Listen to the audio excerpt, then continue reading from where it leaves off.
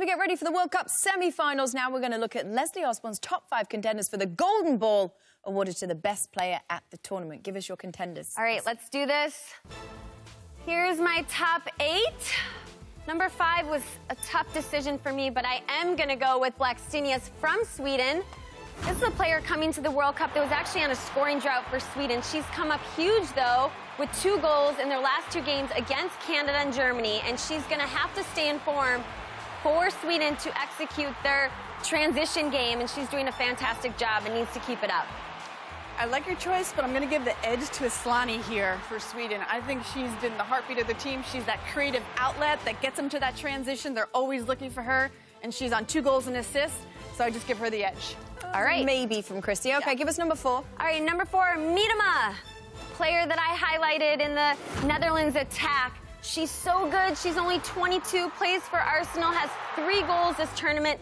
Incredibly dangerous in the box, composed. She can score with any part of her body, and very, very clinical player. Agree. She has been clinical, but I'm going to go a little defensive here with Spitse.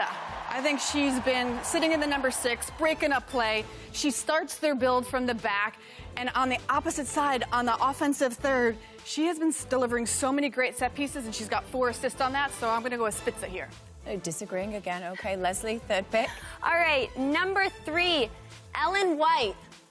This is a player with five goals who is thriving under head coach Phil Neville incredibly composed, clinical in the 18. She can be quiet at times, but so big for this English side and in peak form and needs to continue that against the U.S. on Tuesday. It's just no argument for another uh, player like Ellen White, England player. Let's go for your number two pick. All right, number two, one of my favorite players, Lucy Bronze. Yes, she is a defender. She does have a goal and three assists. This is a player that's so dangerous on both sides of the, sides of the ball. She owns that right flank. She can play make. She can score big time goals outside of the box. She's fast. She's strong. She's got every tool out there and could really play any position on the field. And I think is a big catalyst to this English attack. Christy's into this. One. I agree with you, Les. 100%. I think best back right in the world. Um, do an amazing job on the attack and the defense. Giving some defenders love. I love it. Yes, I am. Okay, number one, let me guess. It is Megan Rapinoe. That's right. Megan Rapinoe is so big time for this U.S. team. She's the heartbeat, she's the leader, she's the captain. Big time players step up in big time moments, and that is what Megan Rapinoe is doing, especially in the knockout stages. She's a free kick specialist. She's so dangerous and creative on the outside, and this team is thriving off of her. And she is another player who's going to have to continue this this team on Tuesday against England.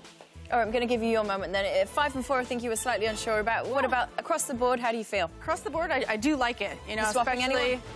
No, I mean, I would kind of go with Spitse in there, but I do agree, you know, on the attacking side, these five players have been phenomenal throughout this tournament.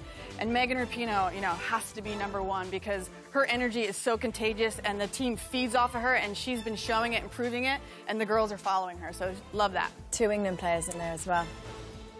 Thanks, Leslie.